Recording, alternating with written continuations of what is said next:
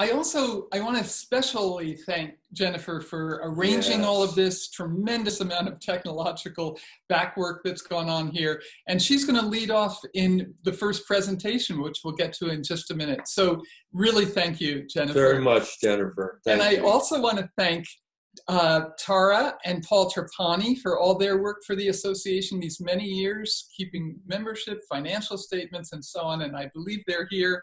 Elizabeth McAnally, uh, big shout out for keeping the Teilhard website going. Sam King uh, for helping get the Journey of the Universe out to high schools now. And I believe Jack Haught might be here. And Jack, your work, your scholarship has been a base note for this whole organization. So mm. I really thank you. Tom Keevy, you have been one of the greatest supporters of Tom Berry, and we thank you as well. I could go on and on. But let me turn to introduce Jennifer, uh, who is a unique person, has amazing background in terms of her education and so on. But I will just say very briefly, she's president of Deep Time Journey Network, which in itself is amazing, and she'll tell you about it. And she's done three extraordinary books on the universe story. It's a trilogy and especially used in education. The Montessori teachers love this. Born with a Bang, Lava to Life, Mammals Who Morph. I highly recommend these books. Over to you, Jennifer, with great thanks. Okay, thank you so much, Mary Evelyn. Okay, well, my involvement in this work began in 1997, and it's not an understatement to say that these three people utterly changed my life. Sister Miriam MacGillis, Thomas Berry, and Brian Swimme. Because it was in 1997 when I did the Earth Literacy Program with Miriam MacGillis.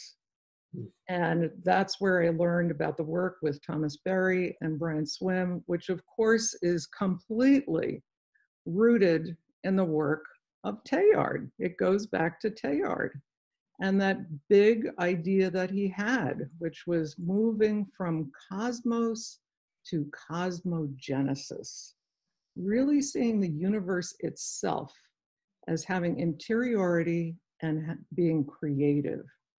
But there was another person who utterly changed my life, and that was my son. and when I did that program, uh, Genesis Farm, in 1997, my son was six years old. And he was just heading into the, his elementary years. And so I started to teach him everything that I was learning. And I was quite shocked to see how fascinated he was. And we would tell bedtime stories about how stars are born and they live and they die. And it's inside of stars that all the elements for life were created. And I could see his eyes just getting bigger and bigger in the dark of the night you know, by candlelight as I was talking. And so I got the idea to write a book for children. And, uh, and then there were many synchronicities in the story. Um, one of which was that at age six, he was at the Princeton Montessori School. And I was soon to learn about the Montessori cosmic education curriculum that my own son was learning right at that time. so, just as I was being turned on and just completely excited about the universe and this new vision of the universe, my son was also in this uh, curriculum at the Princeton Montessori School. And so I began to, you know, immerse myself in the work of Maria Montessori as well. And this is a quote from her Let us give the child a vision of the whole universe, for all things are part of the universe and are connected with each other to form one whole unity. So as I did that, then I, I kept working on my books and I said, you know what? I want the science to be really, really good, the latest science. I live in Princeton, New Jersey. I took five courses at Princeton University mm-hmm. and I worked with all of these scientists here to write my books. Um, you know, Jane Goodall, Neil deGrasse Tyson, Jeanne Altmann is a uh, evolutionary biologist, Steve Pacala, um, Mary Evelyn and John worked with him as well. Uh, later, Lyman Page, top left, um, is a physicist at Princeton, and he built WMAP. That's the Wilkinson Microwave Anisotropy Probe, which created the picture of what the universe looked like when it was only 380,000 years old and gave us the age of the universe at 13.7, which later was up to 13.8 uh, billion years old. And Alan Mann, the anthropologist, and the two cosmologists on the bottom, Jim Gunn and Jill Knapp. It was amazing experience to work with all of these people. By the way, uh, Jane Goodall gave me six pages of critique of my third book, which of course I revised my book heavily after input from Jane Goodall. Um, so three books came out, Born with a Bang, From Lava to Life, Mammals Who Morph, and uh, we won some prizes, Learning Magazine's Teacher's Choice Award, uh, Nautilus finalist, high ratings from AAAS, and many endorsements, endorsements from all of those scientists you just saw, plus others, including uh, the astronaut Edgar Mitchell and a whole bunch of others. Um, so very, very quickly, I started doing uh, teacher trainings and school visits all over. Uh, what I'm showing here is every year I go down to Houston to do um, a training uh, with the Houston Montessori Center. And this is for teachers of all levels, from infant toddler all the way through secondary. They're all come together to be immersed in the story and to understand it as something that's not just out there, you know, that's something to study as separate from themselves, but they really are part of the universe. In fact, they are the universe you know, carrying the story forward. So there's very much this, you know, learning the objective story and learning the interior story. Um, I gave a keynote address for the American Montessori uh, Society conference in 2013. Mm-hmm. Uh, that is attended by 3,000 people. And here I am wearing the electrifying robe with stars all over it, uh, which is what I wear for storytelling.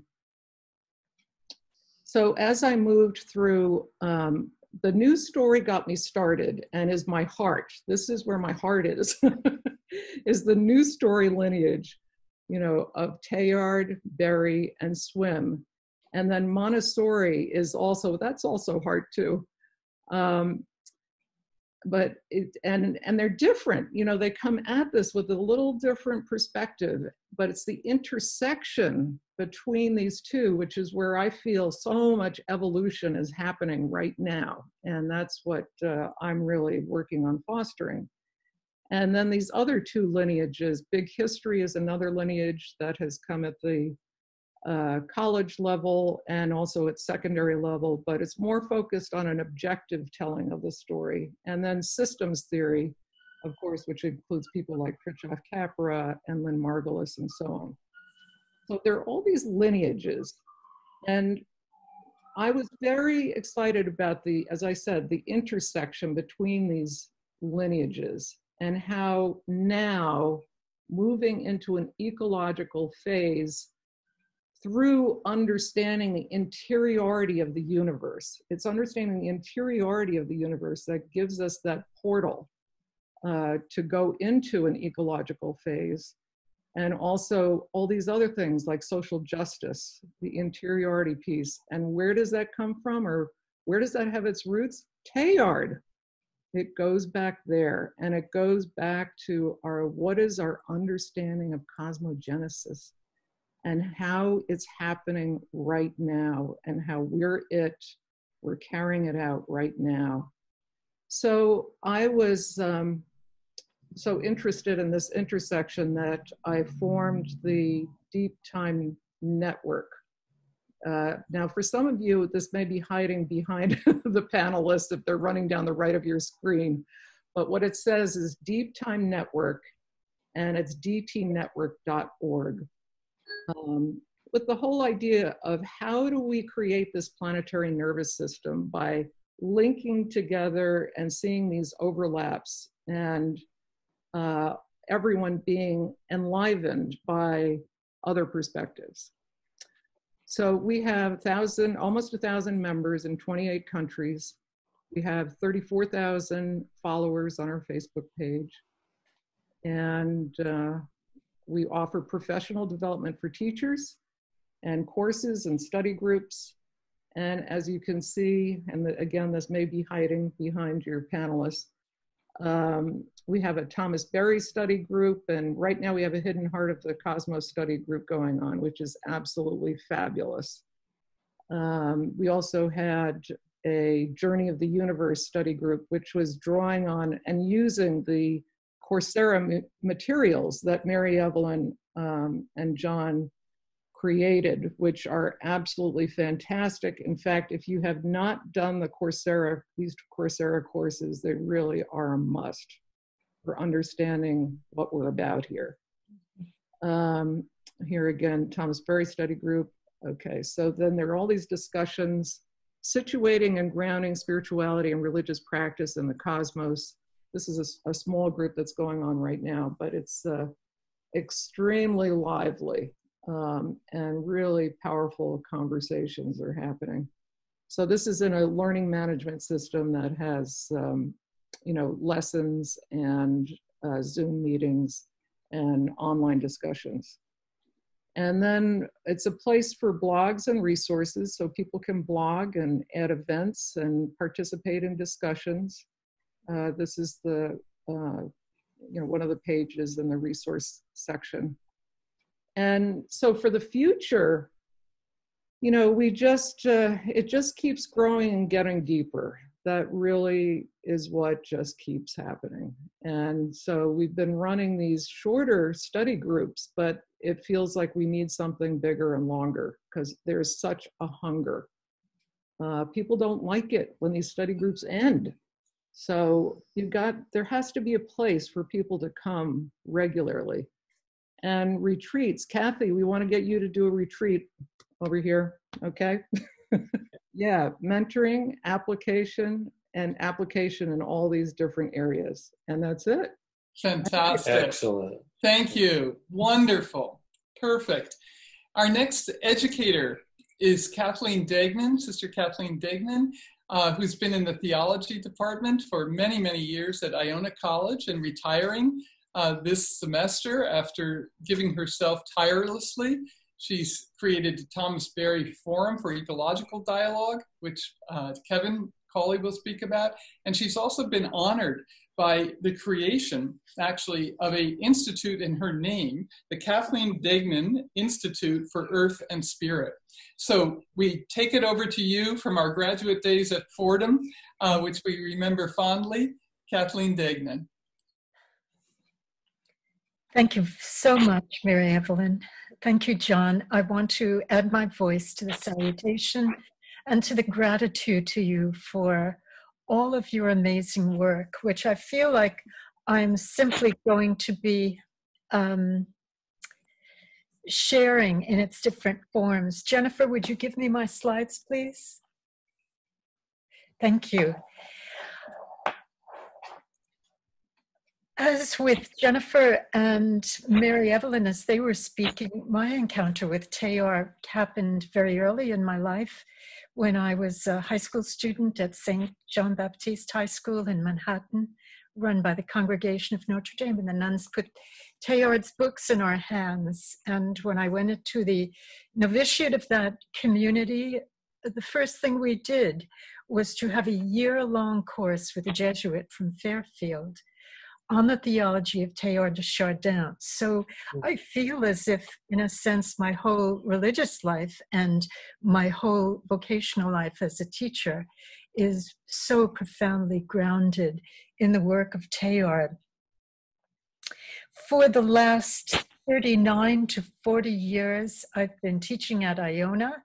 And from the time I got there, because it was concurrent with my time of study with Father Thomas Berry at Fordham and meeting John and Mary Evelyn there, I began to integrate courses uh, into the religious studies curriculum on Teilhard, on the work of Thomas, and somehow that was very, very fertile ground, Iona was. Wonderful colleagues, so receptive, wonderful administrators, such that at this stage we have come to a core curriculum that includes um, thematic courses for students, which will aid them in the integration of all of their studies on stewardship, thematic programs on Earth, the study of Earth itself, um, and the integration now of the journey of the universe and the worldview of Thomas Berry courses. So, for all of my years there, at least a hundred or more students per semester have been exposed to this wonderful, wonderful worldview and vision. And as Mary Evelyn said, to my surprise and delight, a former student made a massive contribution to Iona uh, for the sake of keeping this work going on. Now that I am no longer a full time member of the faculty, I will move over and do the direction of this Institute for Earth and Spirit, the very name of which is utterly Teilhardian, except I think that perhaps it should just be one word, Earth Spirit, mm-hmm. um, so that there be no um, separation in, in the sense of how we understand this, this wonderful planet of ours within this glorious universe. Our mission is to foster the integral and development of a peaceful earth community in the light. Oh, could we go back there, please? I was reading that.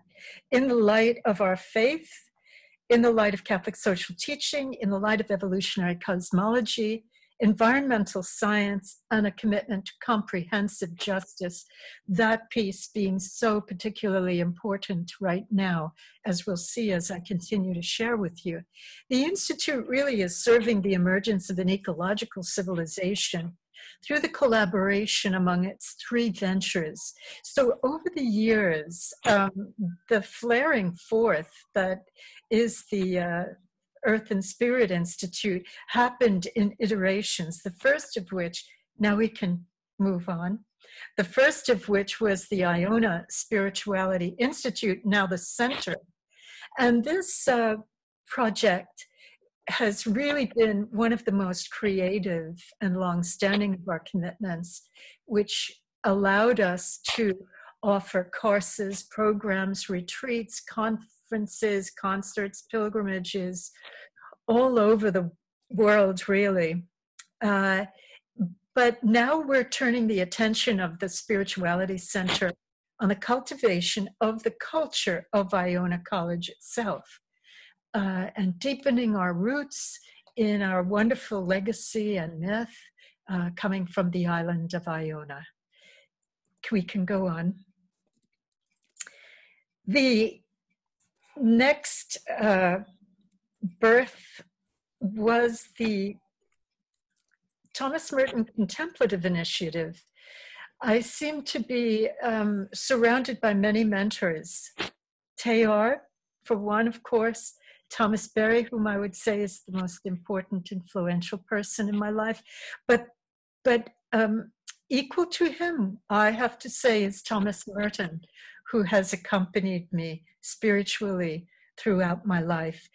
Under this project, we are offering his wisdom to inform programs of transformation to uh, on on violence and racism and of course teaching of contemplative practices but I'd like to underscore that this really significant thing that we will take forward under the name of Merton will be his nonviolence and the concerns of um, racism. Our last but not least project is the Thomas Berry Forum for Ecological Dialogue. We can change the slide, but I will let our brother uh, Kevin Cawley, in his turn, take this project up a project to promote the integral ecological phase of Earth history through Berry's values and also the papal encyclical Laudato Si. That's how Teilhard has uh, sprung forth in my life. Uh, Imogene is going to speak about a video installation related to Teilhard's thought also. Thank you, Imogene, for your remarks. Thank you. So Teilhard inspired me to explore a deep connection with the cosmos in both the content and process of my work. Today I'm going to focus on the process of my artistic evolution and share the arc of my work as symbolic of Teilhard's concept of the universe developing through self-transforming phases. Next. Over several decades, as I strove to convey the importance of our relationship with the cosmos more clearly, my art developed in five phases in five different media. Next.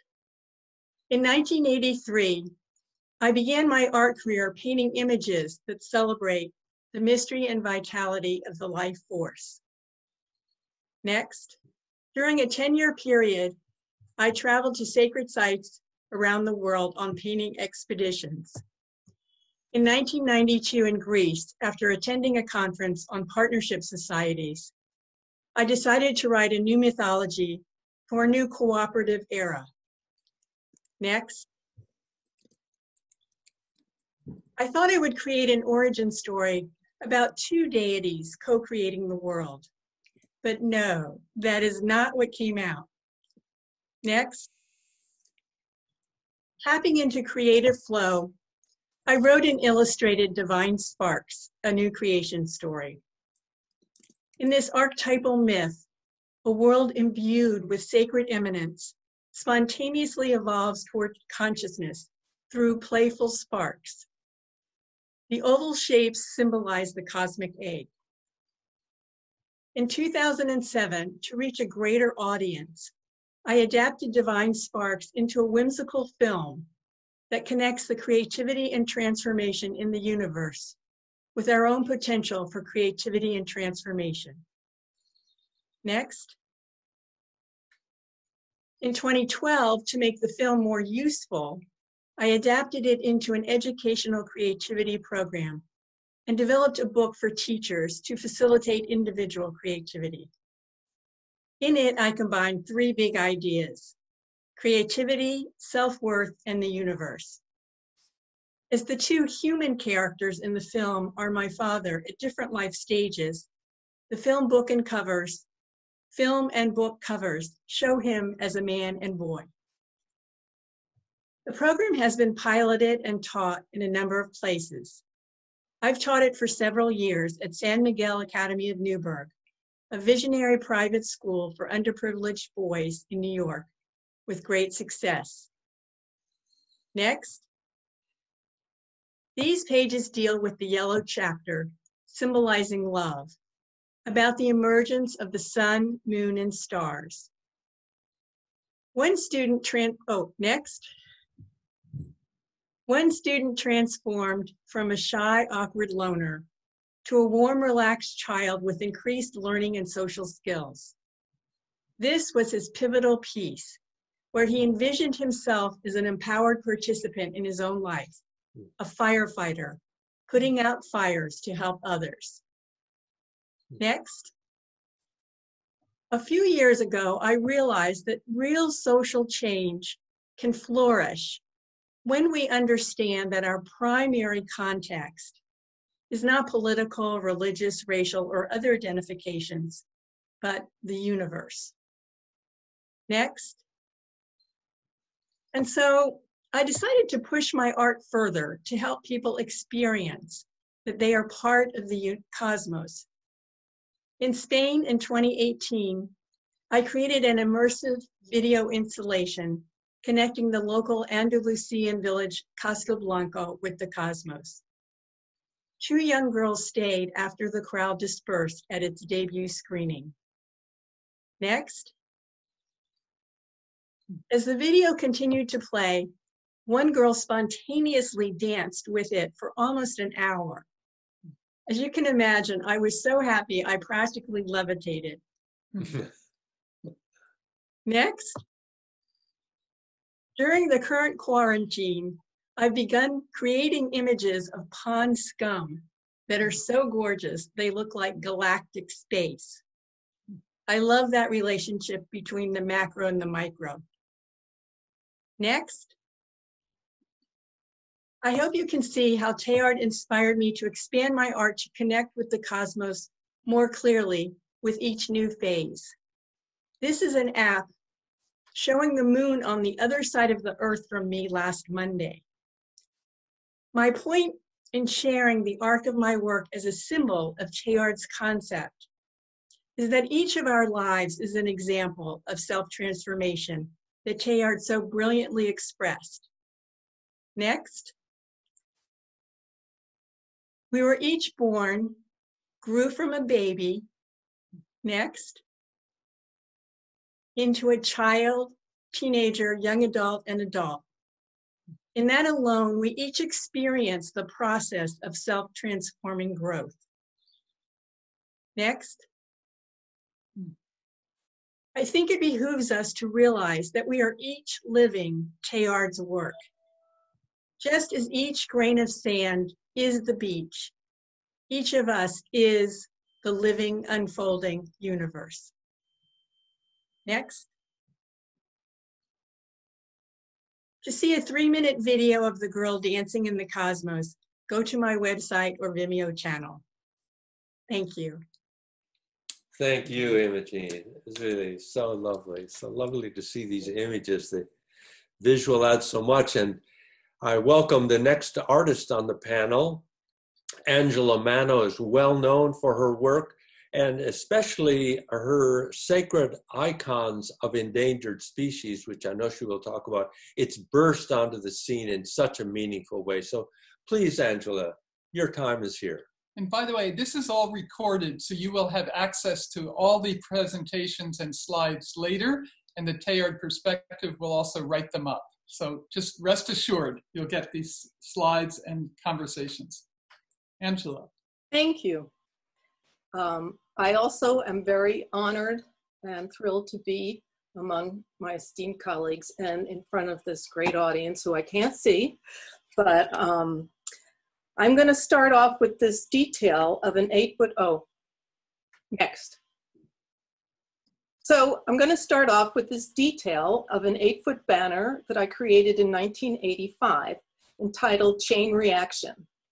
It's part of my 13 piece mixed media series, Conscious Evolution The World at One, which is now housed in the Smithsonian's Permanent Fine Art Collection. It was inspired by this quote by Teilhard that continues to guide me today.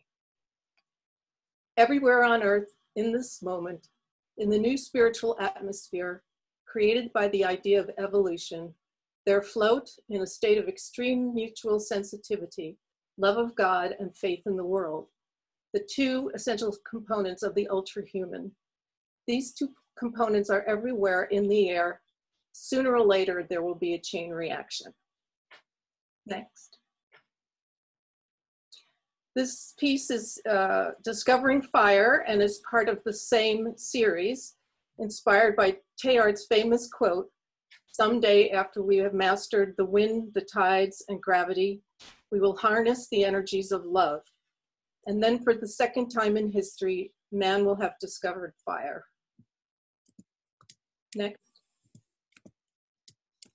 This triptych, All My Relations, presents the earth as the primary revelation of the divine and its various layers of the lithosphere, biosphere, and noosphere. The latter represented by the bottom image, which is entitled Children of Gaia Descended from Stars. Next. So in 1990, I had the rare opportunity to begin learning Byzantine Russian icon painting with a master iconographer from Russia. Not long into the practice though, I knew something was missing. Nature was merely the backdrop for the human divine drama. Acutely aware that humans are derivative of the earth, I started conceptualizing a new icon of the whole earth. Next. This is the, the earthly paradise icon of the third millennium. It's created in the same method of materials as in traditional icons. I added another dimension to the physical planet by encircling the fragile envelope of the atmosphere with a gold halo to portray the earth as a bio-spiritual entity having reached its fulfillment in the omega point in that dynamic center of love at the heart of all creation. As we entered the new millennium, however, it seemed to me that instead of moving towards the omega point or the ecological age that Thomas Berry proposed, humans were exploiting the earth with ever more violent means, leading to the endangerment and extinction of species at the rate of 150 per day. Next. And then I remembered this passage from Thomas Aquinas, which Thomas Berry loved to quote. Because the divine could not image itself forth in any one being, it created the great diversity of things so that what was lacking in one would be supplied by the others, and the whole universe together would participate in and manifest the divine more than any single being whatsoever. Next. It was at this time that I initiated my project, Sacred Icons of Endangered Species, to lift up the intrinsic value of beings and to help expand our religious sensibilities to embrace all of the natural world with our love. This is an icon of the Florida panther. It is now critically endangered with around 100 individuals left in the wild. Human encroachment and vehicle collisions are the main threats to this beautiful, majestic animal. Next. This is an icon of the loggerhead sea turtle. Sea turtles have been around since the time of the dinosaurs, about 110 million years. All of them are critically endangered. The major threats to their existence are plastics and oil spill plumes from oil spills, which they mistake for food. Drilling is occurring or being considered in critical sea turtle habitats. They are accidentally caught in commercial fishing gear and oil on beaches pollute hatchling and nesting areas. Next. This is the critically endangered orangutan, known as people of the forest in the Malay language. Extinction in the wild is likely to occur within the next 10 years. Their recent hi history is heartbreaking. It is the story of losing their only home to bulldozing and burning to make ready for palm and other agricultural plantations. Poaching, hunting, and illegal logging inside protective areas remain a major threat to their survival.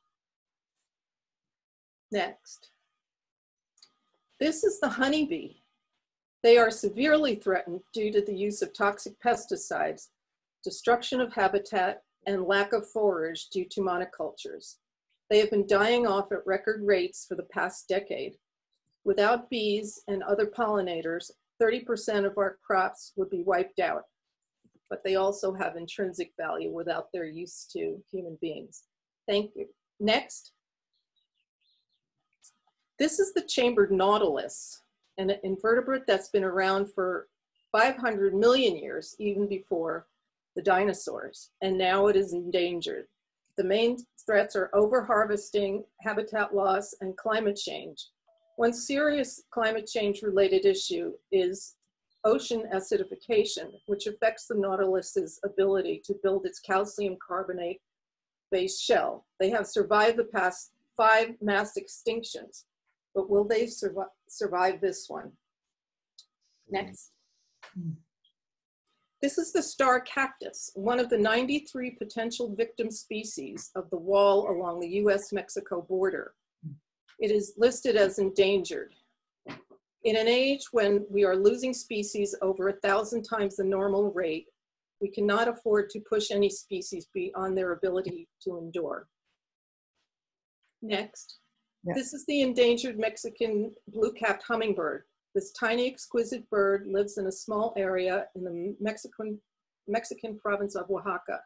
Tragically, as is the case with so many species, its numbers are dwindling due to habitat loss. Uh, uh, next. I've added another dimension to this project by donating half, donating half the proceeds from the sale of these icons to the Center for Biological Diversity. And I want to leave you with what I consider the ultimate truth for this period in Earth history. It's a quote by Thomas Berry. While the human cannot make a blade of grass, there is liable not to be a blade of grass unless it is accepted, protected, and fostered by the human. Thank you. Thank you so much, Angela. It's marvelous to hear the story of these different creatures and, uh, and appreciate them in this visual way. The final uh, panelist is the artist Mary Coelho. Mary has uh, not only a long-time commitment to the American Teilhard Association, but she brings to it her biology and theology background. She has degrees in both. At Fordham University, she worked with one of the presidents of the American Teilhard Association, Ewert Cousins. And Mary, in both her artwork and especially then in her published book, Awakening Universe, she's made us aware of these exquisite understandings of deep time and its aesthetic implications. Thank you, Mary, for joining us.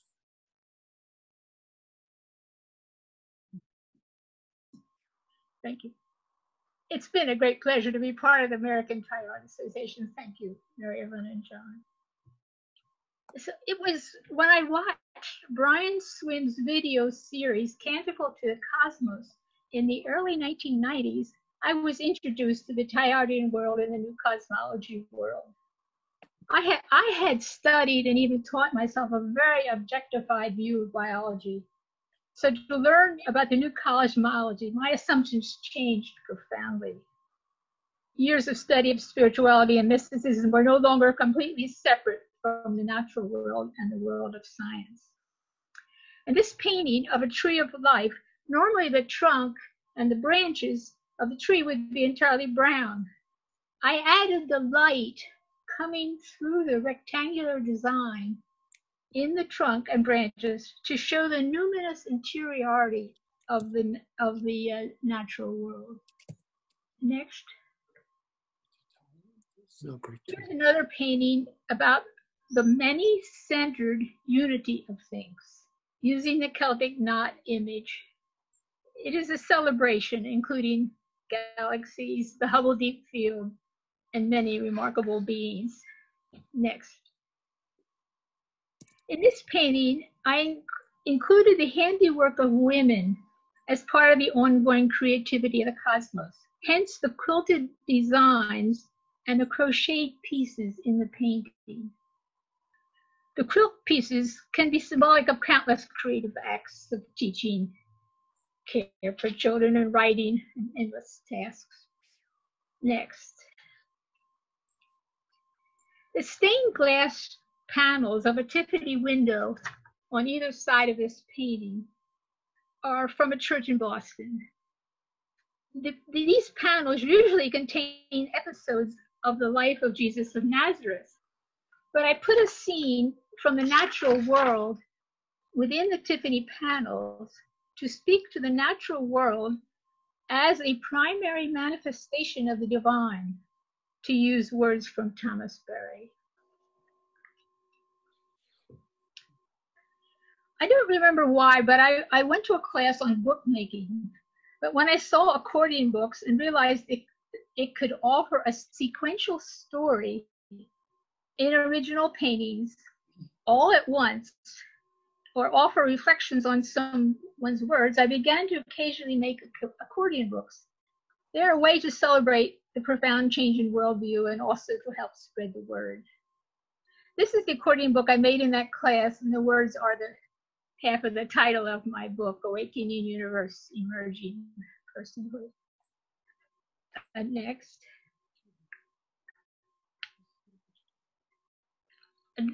Uh, here is a accordion book. It's a vertical one with words from Thomas Berry.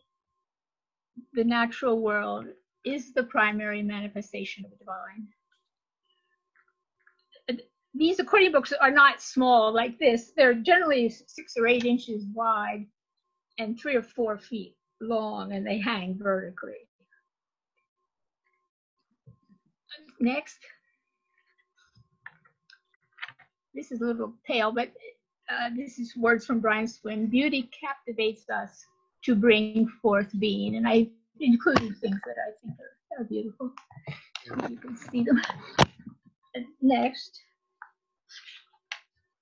I generally have not wanted to paint directly about the environmental crisis. It seems I want to avoid such a dark, threatening story. I'm not as brave as Angela. But here is one of the words from Brian Swimme speaking to the danger we are entering into. It reads, We will enter the future as a single sacred community or perish on the way. And this painting with the smokestacks, more than halfway down, this somebody speaks speaks to the uh, the threat that we're we're within. Next. I, I like these, particularly these words, a short poem by Emily Dickinson. Not revelation tis that waits, but our unfurnished eyes.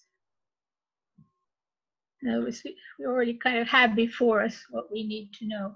We need a great deal of unfurnishing of our eyes. The work of Teilhard de Chardin and the New Cosmology have unfurnished my eyes to some degree. Didn't Teilhard de Chardin unfurnish the eyes of many in the church? Uh, next.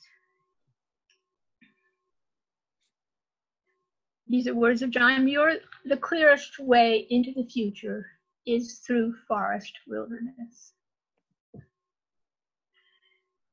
Next. I close with, with an accordion book with the famous words of Teilhard de Chardin, and Angela mentions them.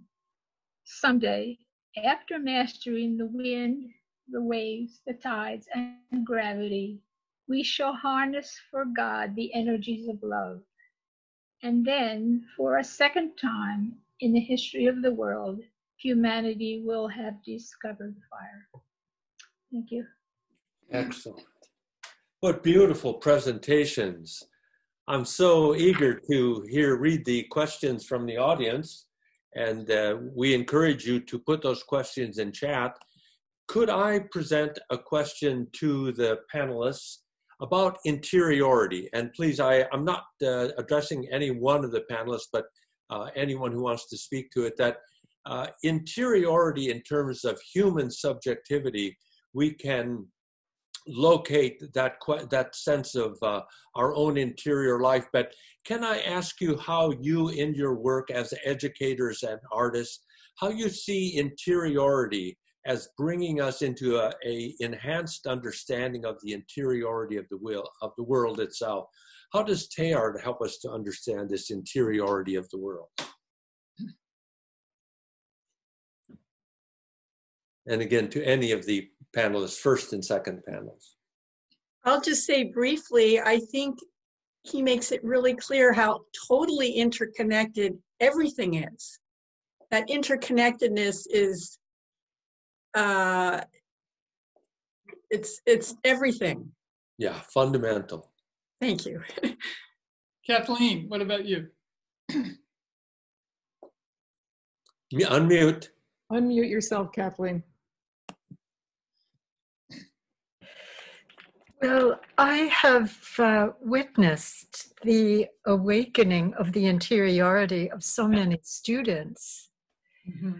in my courses and also in my work of spiritual animation, doing retreats and all. But particularly with young people, when you invite them to inhabit somehow, to do that turn so that they can come home to their deep original self to that life that is just awakening and springing up and, and overflowing all the time, they become, they begin to be attuned to their inner nature as more than just thoughts or emotions mm-hmm. or, you know, kind of like the flotsam and jetsam of, of the psychic life, but they begin to say, this is my deep and true nature. And I've seen wonderful things happen, especially in their reflective writing about this. Thank, Thank you. you. Who else? Jennifer, do you want to say something? Mary. And then Mary, yeah. I guess I was hearing your question, John, about, you know, how do we extend our sense of interiority within the human to the interiority within the whole? Yes, that's one way to take it. Thank you. Yeah, and um, and how does Teilhard open the door for us to that? And what I see is the, you know, on the website you have at the top energies of love at the top of the website, and I Yeah. think Teilhard's writing breathes love. It breathes love, Mm. and it breathes an understanding of love that is not just limited to the human. It's in everything. Mhm. Absolutely. That's that connection. Yeah. Yeah. Beautiful. Uh, Mary Coelho. Thank you, Jennifer. I just was very moved when I learned Brian Swimme's ana- uh, analogy of the set of the atom being like a baseball stadium with the with the with the pitcher on the pitcher the on pitcher's mound, but any fly ball that might be have been hit above the stadium, and within that atom, empty quote unquote Ah. emptiness. Yeah. And apparently, we know from physicists, it's an energetic energy. I mean, although we don't know how to directly explore it, and somehow that way breaks open our world, and it brings a profound spirituality to, that we are we are comprised of that reality. Thank you. Hmm. Angela. Well, I was just thinking of the relationship between the interiority and the outs in our environment. Not that there's they're not separate, and to the degree that we develop our interiority to appreciate interconnection, Mhm. that can be reflected in the world and what we do Absolutely. the interconnection. Thank you. Kathy Duffy. I, I was just going to say there's interiority all the way up, and if we Yes. can begin to see it that way, that the atom, you know, we can recognize the atom as having some interiority, so that when we begin to see the collective human expressing that interiority as the noosphere, you know, then, and I think we see it like in, in even in these marches and things, you know, these days, that, or the um, the outcry and the help that people are giving to those with coronavirus. You know, there's something more than myself happening. We're bonding together, and to be able to see that as a whole, I think, Yeah. is really, um, you know, what Teilhard is trying to get us to see. Absolutely. And that's why we did Journey of the Universe to exactly to make that offering into spirit and matter from the very, very beginning, the great flaring forth. Mm. But I want to suggest Ursula Goodenough's uh, conversation in that series. She's the cell biologist, and she speaks about the cell as having a sense of self. So I really urge us to rethink, you know, think that through. And this is the transformative paradigm that Teilhard has to offer. Exactly what each one of you are saying. And Mm. thank you, Kathy. It's there from the very beginning. Can I pick up also and uh, draw out a question as uh, our listeners, of course, are making it's available to you on chat also. They're remar- making remarkably positive statements about your educational insights and the artwork. They're loving it. But uh, just, uh, is it time now to Yeah, move just on? about. It, no more. It's No, time to no, no more questions. I'll save the question for next Just- group. What, what was? Oh, all right. Uh, this was marvelous. We're getting Really all kinds of remarkable. Raves, educators, artists. Fantastic. And thanks, Kathy, for that uh, concluding overview. So helpful. Yeah. Someone said we need an art museum for for all the, for a Teilhardian art museum. Let's do it. Jennifer, thank you. We'll take a five minute break. Um, I think we said, I think we said 10 minutes. We'll Okay, give us a chance to get the new panelists in. So every, everybody should know who's watching this. Uh, don't leave the meeting, just leave it open. Um, so there's going to be a little change over here as we let the uh, current panelists are will be become attendees, and then we'll bring in the a new set of panelists. So just keep the meeting open, and we'll be start. What what time should we say, uh, Mary? fifteen. That's what we had said. Two fifteen. Okay. All right. What's more than? Thank you. Thank you, Jennifer. Sorry. Thank you, Mary say- Evelyn and John. Yeah. Sorry. Let's you. say two ten. 210. Two Sorry. ten. Okay, thank you. Thank you, Okay. everyone. you all. Thank you. Thank you. Wonderful. Okay. Nice job. Really, such a good job. So great to have the slides. The artwork is just glorious. Fabulous. Okay, I'm, And we do need a museum, I'm, Yeah. de- I'm demoting. Yeah. people or at least a glorious space. I'm going to, inv- I'm going to get me an arts grant at Iona and bring all Great, you up. Great, great, Good. There great. go. I'll come. I'm reminded of our um, conference in 2005 when Angela and Mary exhibited their art as part of, had a whole big